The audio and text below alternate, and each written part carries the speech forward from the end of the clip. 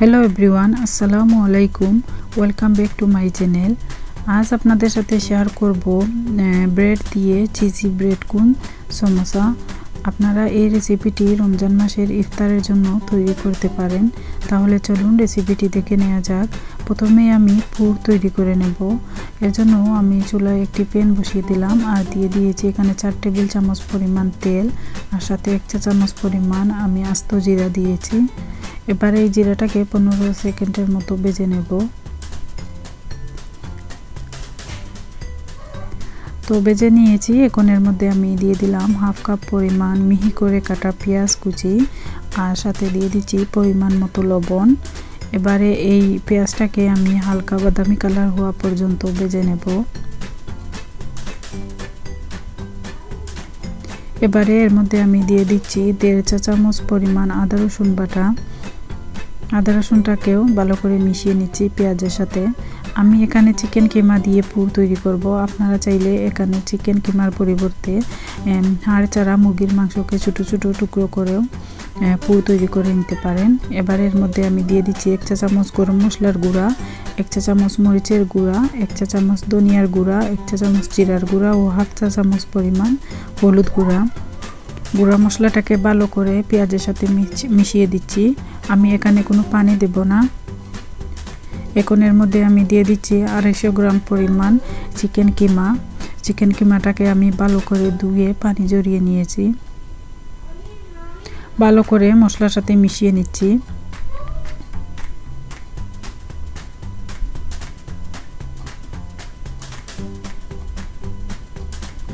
তো চিকেনটাকে ভালো করে মিশিয়ে নেওয়ার পর দেখুন চিকেনটা আমার ঝুরঝুরা হয়ে গিয়েছে। এবারে এর মধ্যে আমি দিয়ে দিচ্ছি এক কাপ পরিমাণ ছোটো করে টুকরো করে কাটা আলু আর হাফ কাপ পরিমাণ দিয়ে দিচ্ছি আমি এখানে গ্রিন পিস। ভালো করে নেড়েচেড়ে মিশিয়ে আমি ডেকে রান্না করব কিমাটাকে দশ থেকে পনেরো মিনিট বা যতক্ষণ না পর্যন্ত আলুটা সিদ্ধ হচ্ছে ততক্ষণ পর্যন্ত কিমাটাকে রান্না করব। তো ডেকে দিচ্ছি দশ মিনিট দশ মিনিটের জন্য। তো মাঝখানে আমি একবার কিমাটাকে ভালো করে নেড়ে চেড়ে দিচ্ছি। এতে করে সব দিকটা ভালো করে রান্না হয়ে যাবে। পনেরো মিনিট হয়ে গিয়েছে ডাকনাটা তুলে নিচ্ছি। কিমাটা রান্না হয়ে গিয়েছে। পানিটাও শুকিয়ে গিয়েছে আর আমি একটি আলুকে এভাবে চামচ দিয়ে চেক করে নিচ্ছি। আলুটাও সিদ্ধ হয়ে গিয়েছে। তো এবারে আমি এর মধ্যে দিয়ে দিচ্ছি মিহি করে কাটা চারটি কাঁচামরিচ কুচি। আর এখানে দিয়ে দিচ্ছি এক মুঠ পরিমাণ ধনিয়া পাতা কুচি। ভালো করে নেড়েচেড়ে মিশিয়ে চুলার আগুনটা বন্ধ করে দেব কিমাটা ঠান্ডা হওয়ার জন্য। তো কিমাটা ঠান্ডা হয়ে গিয়েছে, আমি একটি বুলের মধ্যে কিমাগুলোকে নিয়ে নিয়েছি।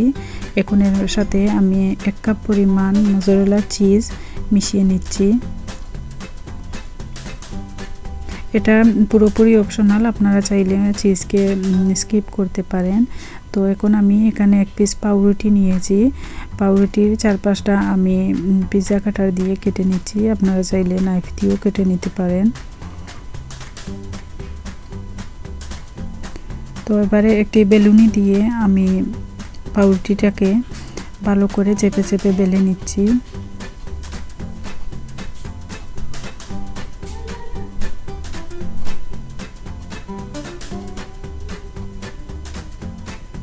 একেবারে পাতলা করে পাউরুটিটাকে বেলে নিয়েছি।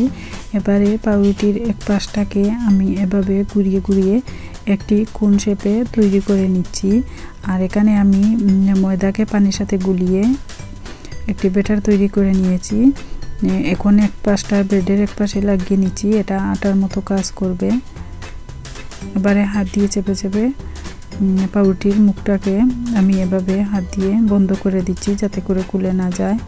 এখন এর মধ্যে আমি পরিমাণ মতো পুর দিয়ে দিচ্ছি।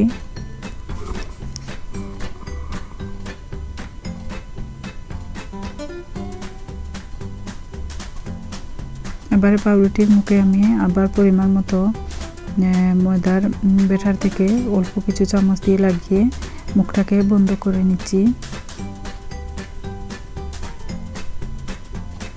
তো খুব সহজেই তৈরি হয়ে গেল আমার ব্রেড কোন সমোসা। এভাবে সবগুলো সমোসা আমি তৈরি করে নিচ্ছি।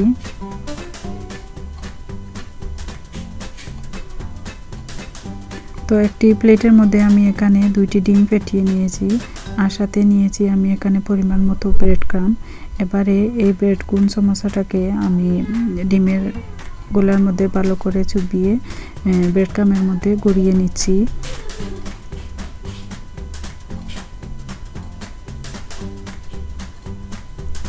তো এভাবে সবগুলো সমোসাকে আমি এভাবে ব্রেডের মধ্যে গড়িয়ে নেব। এবারে এই পর্যায়ে আপনারা চাইলে এগুলোকে এভাবে জিপলুক পেগে পরে প্রায় পুরো রমজান মাস জুড়েই খেতে পারবেন। আমি কিছু সমস্যাকে আপনাদেরকে বেঁচে দেখাচ্ছি। এর জন্য চুলায় একটি কড়াই বসিয়ে দিয়েছি, পরিমাণ মতো তেল দিয়ে। তো তেলটা গরম হয়ে গিয়েছে, আমি এখন সমস্যাগুলো দিয়ে দিচ্ছি। চুলার রাসটা মাঝারিতেই রেখেছি। মাঝারি আছে সমস্যাগুলোকে আমি গোল্ডেন ব্রাউন কালার হওয়া পর্যন্ত ভেজে নেব। তো আশা করি আমার আজকের রেসিপিটি আপনাদের কাছে ভালো লেগেছে। আর আমার রেসিপিটি যদি ভালো লেগে থাকে, তাহলে প্লিজ আমার চ্যানেলটি সাবস্ক্রাইব করবেন। ধন্যবাদ সবাইকে।